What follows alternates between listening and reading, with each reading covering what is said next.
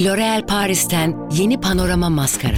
Panoramik hacim etkisiyle gözlerim daha büyük görünüyor. Peki bana nasıl mı hissettiriyor? Onunla kendime ve dünyaya yeni gözlerle bakıyorum. Daha güçlüyüm, daha cesurum.